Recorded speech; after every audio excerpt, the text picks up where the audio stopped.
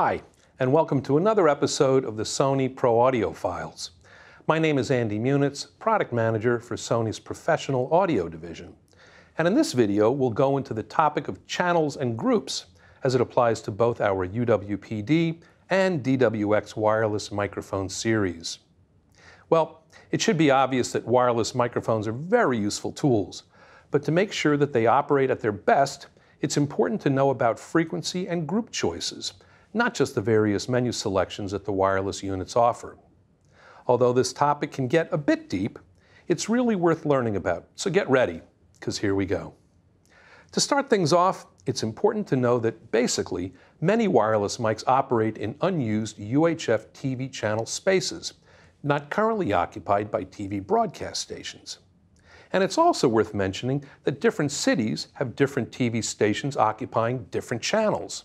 So having maximum flexibility in choosing the channels that your wireless mics will operate on in your own location is obviously important. As you can see in this chart, our Sony wireless mics operate in the range of UHF TV channels 14 all the way up to UHF TV channel 51. We then split this very large spectrum range into approximate thirds and offer our identical equipment packages in either a 14 system, which covers UHF TV 14 up through 25, a 30 package, which covers UHF TV channel 30 up through 41, and then a 42 system, which covers UHF TV 42 up through 51. It's also worth noting that channel 37 in the 30 package range is not available for use with wireless mics, as it's reserved for radio astronomy. Now, within each of these TV channels, and again, each one is 6 megahertz wide, with our 125 kilohertz spacing between adjacent mic channels, we can fit 47 wireless microphone frequencies within that one TV channel. If you realize that each unit is capable of tuning in up to 72 megahertz of frequencies, we then split that large range into further thirds. For example, 30 to 33, 34 to 36, and 38 to 41.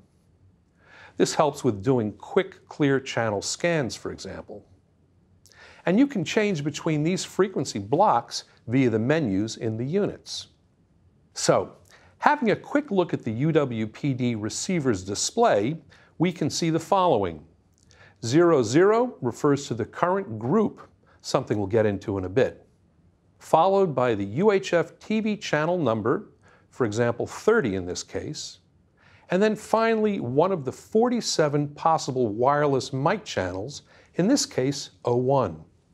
Within each of our units, you are able to scan for the best available frequency for use at any particular location. As the receiver or tuner's job is to look outward to bring in channels, it can do an excellent job at picking the best one for use, likely better and certainly faster than you could do manually. Even though the clear channel scanning procedure is specific to either our UWPD or DWX wireless series, the concept is the same, finding the quietest background noise frequency available for use at that particular location and time. Now, this topic of clear channel scanning leads directly into the concept of groups. You see, a group is nothing more than a database of frequencies that the receiver will scan through in looking for an available wireless mic channel. So the question is, why? Well, if you're a one-man band shooter and all that you care about is finding the best channel for your own wireless mic, you'd obviously like to look at the biggest selection of available channels to choose the best one from. And that's what Group 00 is for. This is a frequency and group chart, which by the way comes on a CD-ROM with your wireless mics and is also available for download in the Resources tab of wireless mics on our sony.com slash proaudio website. Although this chart looks a bit complex, let's break it down you'll see that this page is the channel listings for Group 00 for UHF TV channels 30 through 33. You'll also see that in this chart, there is 125 kilohertz spacing between adjacent channels. Because we're looking at group 00, this is a group that looks at all frequencies in the selected channel block. Again, in the case where you are intending to scan for only the one best channel, scanning all of these frequencies will give you the best result. And as you can see, within TV channel 30, there are 47 wireless mic channels listed, another 47 in TV channel 31, another 47 in 32, and also in 33. If you add all of these together, you get 188 channels. And when you scan in group 00, your receiver will scan through all 188 channels to find the channel without any or the least amount of background signal. But why other groups? Well, when you have multiple wireless systems, you want them all to work in the same location at the same time without possibly interfering with each other. You see, there's something called intermodulation distortion, and that might be best to avoid.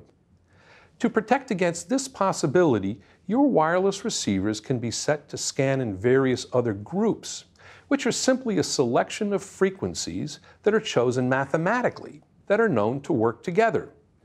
On this page, you'll see listings for the various groups, 01 through 09. If we look a little more closely, you'll see that Group 01 offers a selection of eight channels that are known to work together, and in this case have all frequencies from UHF TV channel 30. If your particular location or city has a TV channel already operating in TV channel 30, well, that wouldn't work. So then you might want to choose Group 02, which offers another eight compatible channels, all made up within TV channel 31 and so on, with group 3 within TV channel 32 and another 8 in group 4 within TV channel 33. Your choice all depends on what frequencies are available for use in your location. By the way, there are a couple of methods I might suggest for finding out what TV channels or white spaces are available in your location. First, there are various websites that will list the available white spaces and even show if there are dedicated TV channels for use with wireless microphones in your specific location. Just search for white space frequencies.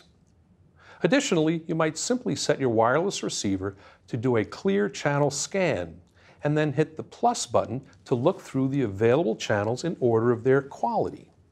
If you see many frequencies listed all belonging to a particular TV channel, chances are that that TV channel is open and available and might be good for setting up a group for multiple channel operation. Now, if you need at least 11 compatible channels at one time, you can use groups 5 through 8, which use some frequencies from each of two different TV channels.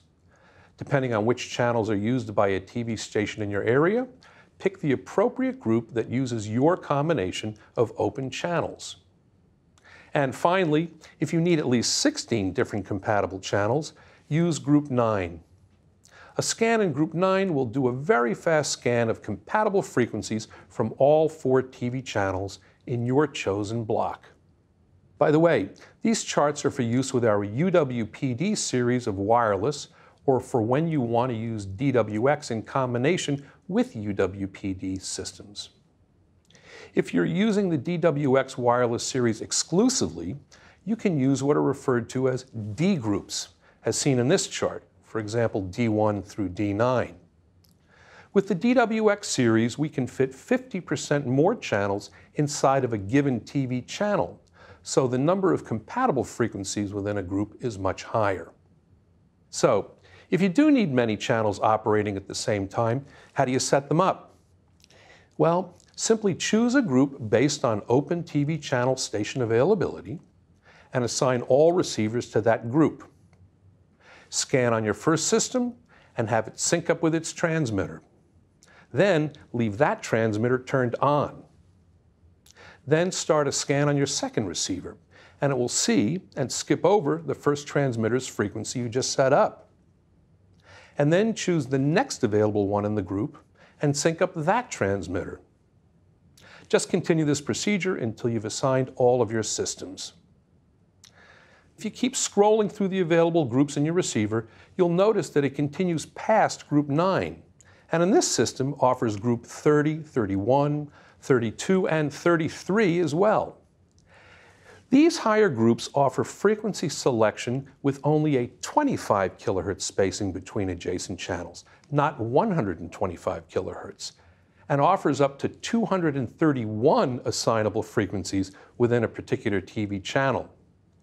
You might want to use these groups if you need to be compatible with another manufacturer's wireless system, or if you are assigned a specific frequency by an RF coordinator at a large venue or event, where there are lots of wireless mic systems in operation. You can select this group and then manually go to that specific frequency, and then sync up your transmitter to match.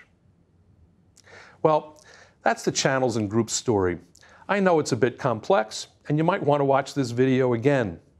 But once you understand this and the menu operation of your wireless system, you'll become its master, and you'll be in total control of your audio.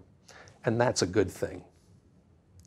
For most of you watching, though, you'll likely just set your system to auto set, scan and sync up your transmitter, and away you go.